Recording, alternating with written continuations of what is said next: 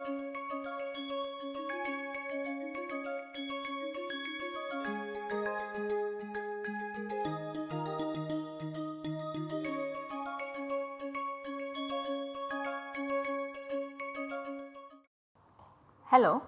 and welcome to today's lecture. So, we are at module 2 and this is the 8th lecture. So, let us see where we stopped in the last class. So, in the last class we discussed about what is speckle in a radar image and then I showed you two images like this. This is where we stopped is not it? Uh, and then I asked you are both the same visually does the image on the left side seem equal to the image on the right side. Now remember that radar signals they tend to hit the targets at many angles okay and this is depending upon the incidence angle of the transmitted signal, the local incidence angle, the looks used in creating an image etc. So, the returning signal from the target is subjected to interference as a result of interaction with rough terrain surfaces and this interference pattern they involve adding signals either in phase or out of phase and that is when we see a noise like phenomenon known as speckle which gives a grainy appearance to the radar images as you see in the image towards your left side. So, now uh, that we know what exactly speckle is, we also need to understand how to completely remove it from a SAR image. In that aspect, today's lecture will focus on speckle removal in SAR image. So, remember that a SAR resolution cell it shall contain a large number of targets or scatterers whose return echoes are coherently summed to obtain the phase and brightness of the resolution cell. Let me repeat. If you remember in the last class we discussed on how to use vector representation to understand what is speckle and how the information adds up is not it. So, once again a SAR that is a synthetic aperture radar resolution cell it is going to contain a large number of targets or scatterers whose return echoes are coherently summed together to obtain the phase information and the brightness of the resolution cell. Which means if there are a large number of scatterers the resolution cell shows a brightness value which is much much larger than the actual brightness by the object. So, this appears as speckle on SAR image. As we discussed um, scatterers at different parts of the resolution cell are going to contribute in different manner to the return echo. Now before we understand how to remove speckle, um, we need to be knowledgeable about some of the fundamental distributions that are relevant in synthetic aperture radar image processing. So what I will do is I will list down these fundamental distributions that are relevant for us starting with images of real part and the imaginary part that is A cos phi and A sin phi they tend to be distributed in this manner as you see. So, they tend to have Gaussian distribution. Here I hope you understand that A stands for the amplitude and phi stands for the phase. Okay. Now the distribution of amplitude they tend to follow a Rayleigh distribution. So at any point of time feel free to pause the screen and have a look at the parameters that comprise the Rayleigh distribution. Similarly, intensity that is I which is nothing but square of amplitude A square it tends to follow a negative exponential distribution. Okay. Now with this background let us try to understand how to handle speckle in SAR imagery.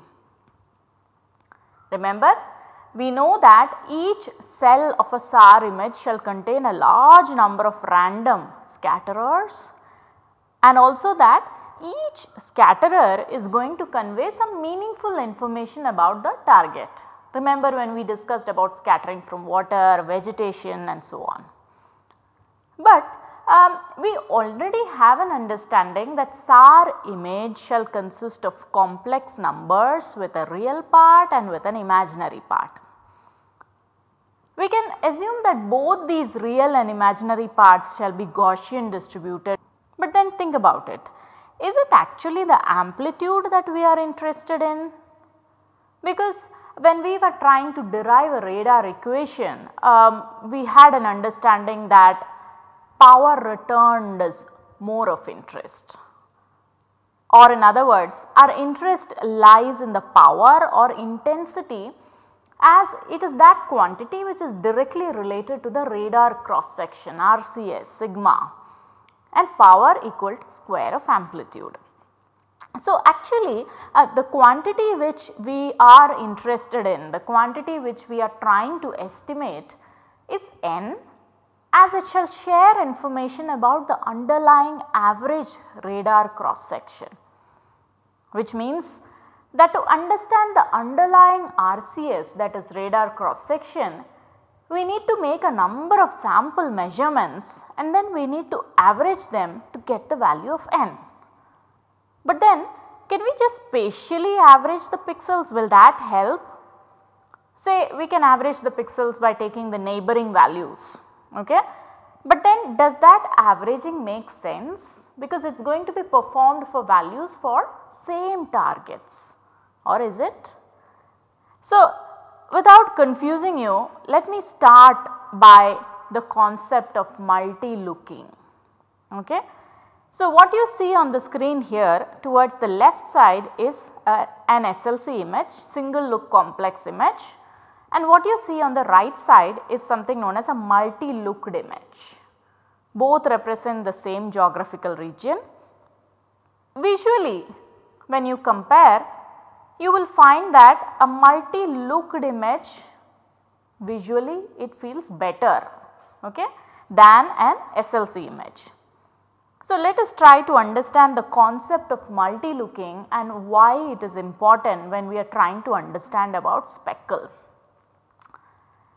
Now, um, as I mentioned earlier, we cannot spatially average the pixels you know uh, say we can average the pixels by taking the neighboring values but then the that kind of averaging makes sense only if performed for values of the same target.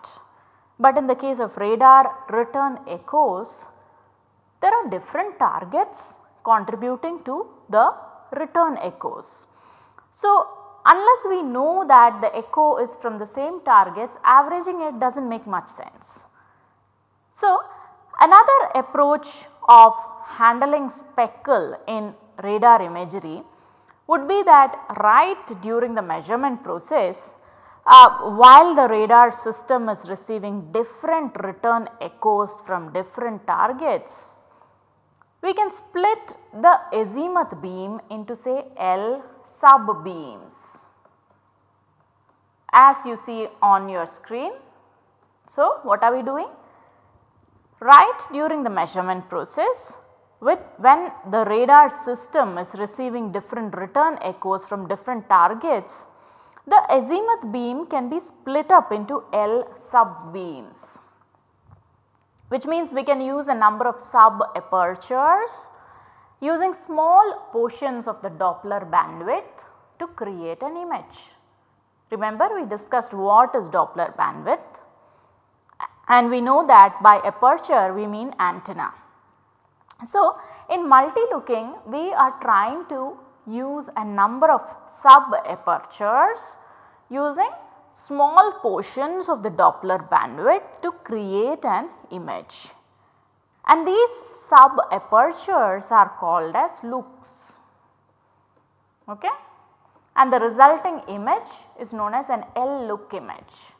which means we can have a 2 look image where L equal to 2, 5 look image, 6 look image.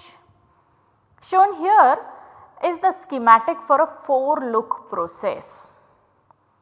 Now of course there will be some degradation in the spatial resolution but then this is compensated by the improvement in speckle reduction. So just to repeat what I wanted to convey, spatial averaging the process as such is going to take samples of different cells on the ground and looks refer to multiple measurements of the same cell. It is the same cell. Please remember again that synthetic aperture radar shall consist of complex numbers and remember the vector notation that we just discussed. So, a simple arithmetic average would be adding up the vectors and then dividing by the total number. This is known as coherent averaging. Okay. For multi-looking we are not performing coherent averaging, we are performing something known as incoherent averaging, multi-looking incoherent averaging. And this is conducted by ignoring the phase values and by taking the sum of only amplitudes. Let me reiterate. So, in multi-looking we are going to perform incoherent averaging wherein we are completely ignoring the phase values and then we are taking the sum of amplitudes only. Please remember that a coherent average would again give us a speckled image. So, our aim is to do incoherent averaging. But now the next question is I told you L stands for the number of looks but then I do not know what is the optimum number of looks. Is there a magic number? So, please be aware that there are relationships that helps to answer this question as to what is the optimum value of L. Okay? Alright. So, what you see here is a schematic which you will also be following as part of your tutorials wherein multi-looking the process will be performed using Python. Alright. Now, another solution to handle speckle is by spatial convolution by using a despeckling filter to an image which has already been subjected to multi-looking. Okay? You have a synthetic aperture radar image, it has already been subjected to multi-looking. After that, you can use a despeckling filter. For that we need to understand the concept of spatial convolution. Remember that the idea is to average across areas which are relatively homogeneous. Now first let us discuss about spatial convolution using kernels and then we shall come on to speckle in particular. Alright. So the concept of spatial convolution uses something known as the spatial filter. So, a filter uh, for which the value at any location say ij or xy at any location it will be a function of some weighted average that is linear combination of brightness values located in a particular spatial pattern around the ij or xy location in the input image, spatial filter.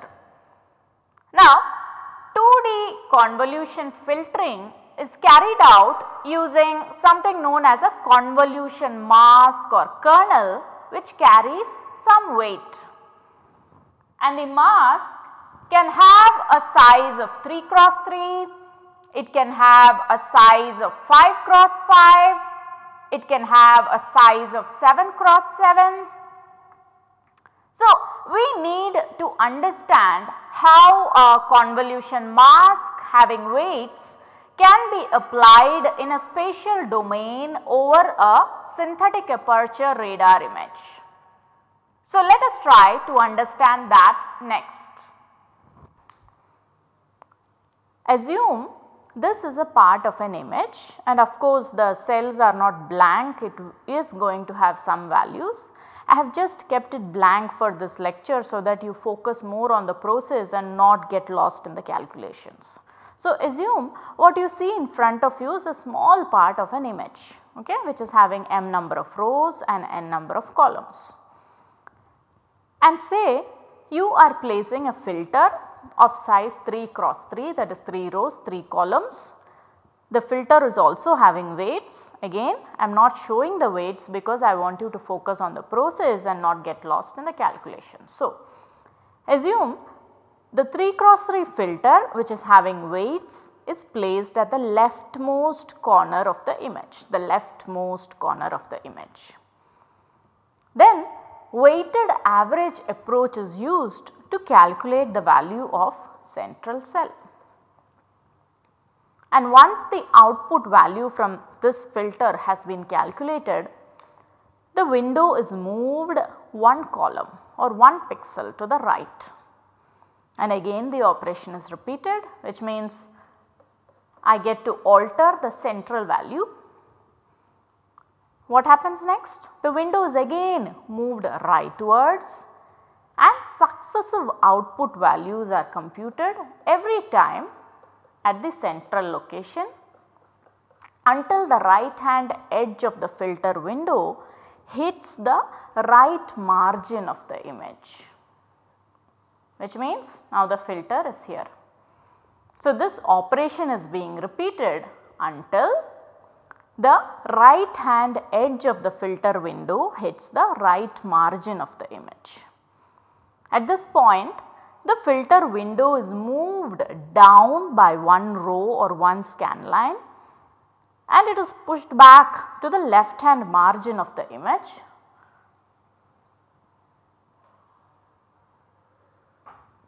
okay. And this procedure is repeated again to alter the central values. So, this procedure is repeated again until the filter window reaches the bottom right hand corner of the output image. Okay. So, what do we do?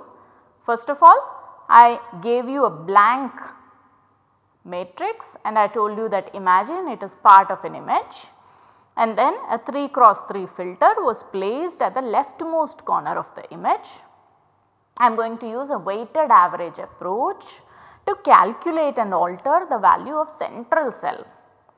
And once the output from this filter has been calculated, the window is moved one column or one pixel to the right and then the operation is repeated until the right hand edge of the filter window hits the right margin of the image. Then what happens? At this point the filter window is moved down by one row or one scan line. It is sent back to the left hand margin of the image and this procedure is repeated again and again. Till when? Till the filter window reaches the bottom right hand corner of the input image. So, this process is known as spatial convolution. This is how you apply a convolution kernel and alter the values of the image. Now, depending upon your application the weights of the filter can vary okay depending upon your application it can vary. Now, um, you may be wondering that we are only changing the central values which means the values present at the border are left untouched is not it. So, does it mean that the output image will have fewer rows and fewer columns than the input image does it mean that? Absolutely because it has an unfiltered margin corresponding to the top and bottom rows and the left and right columns of the input matrix that the filter window cannot reach. Remember we are talking about a 3 cross 3 filter. So, generally these missing rows and columns are filled with zeros in order to keep the input and output images of the same size okay otherwise there will be a mismatch of size. So, they are the output image output of what after spatial convolution the output image are ensured that their size is same as the input image by filling with zeros in the corners that is in the border locations. Okay. So, these missing rows and columns are filled with zeros in order to keep the input and output images of the same size. Now, if an image is filtered by a 10 cross 10 filter, it will be smoothened to a greater extent than an image which has been filtered with a 3 cross 3 filter. So, what happens is that in the tutorials you will get to create a spatial filter and you will learn how to download a synthetic aperture radar image and how to perform spatial convolution using 3 types of filters. We will discuss that shortly. So, this will be a hands on exercise which you will be performing in Python. So, let us try to cover those specific filters with which you will be working during the tutorial session. So, they belong to a category known as low frequency or low pass filters. They are mainly used to de-emphasize or block the high frequency details. Okay? It will be more clear once you see the output after filtering. Now at this point um, you know um, it will be worthwhile to note that always the um, kernels that you have just seen they are kept as odd positive integers is not it 3 cross 3, 5 cross 5, 7 cross 7 but never a 2 cross 2 or 4 cross 4. Why? Because you need a definite central point to change. In a 3 cross 3 filter you do have that definite central point. So, let us try to discuss about one or two examples of spatial convolution filtering using specific filters which will also be covered as discussed in, in through the tutorials. So, um, what you see in front of you is the same example that I showed earlier only difference is that now the kernel, the convolution kernel or mask is not empty, but it is filled with weights from W1 to W9. And in the process of spatial convolution, you take some weighted average which means you use the values of the image that are lying beneath the filter as well as you use the weights of the filter. You use it in some way to alter the central location of the kernel.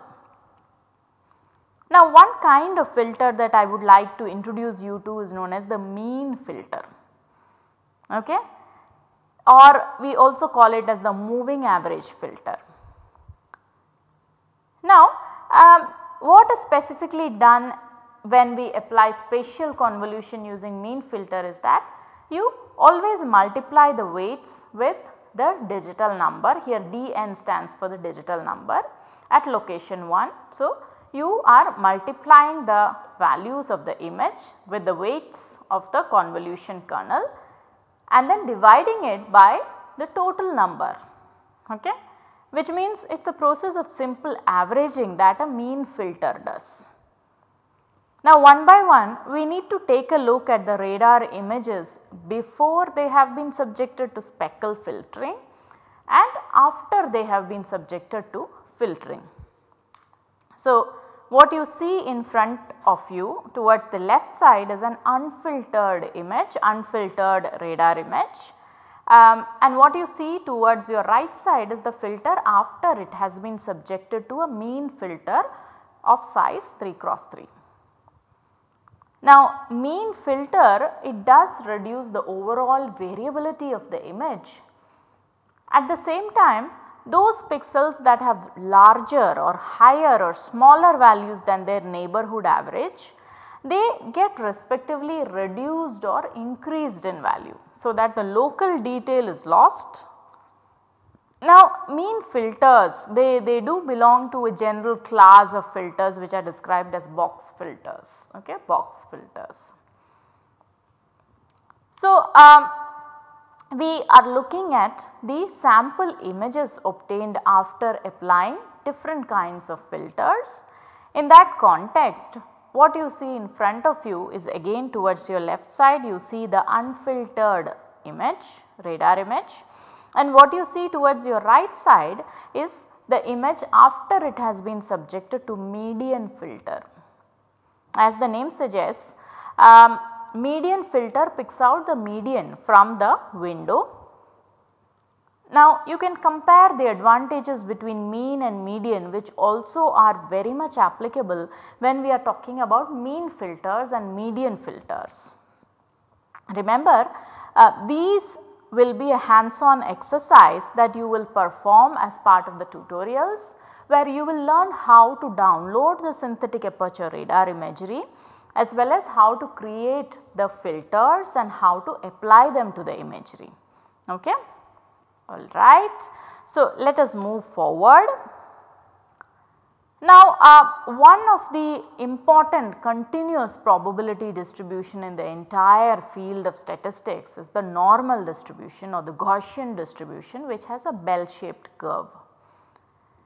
What you see in front of you is the density function of a normal random variable x with mean and variance.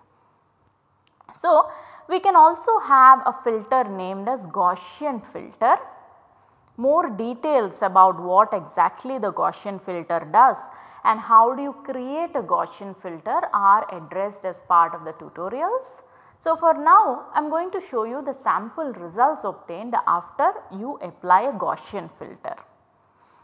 So, uh, what you see here is comparative evaluation of the unfiltered image the image which has been subjected to median filter, size of convolution kernel is 3 cross 3, the output after it has been subjected to a mean filter and finally towards your right side you see the output after it has been subjected to a Gaussian filter with sigma 3.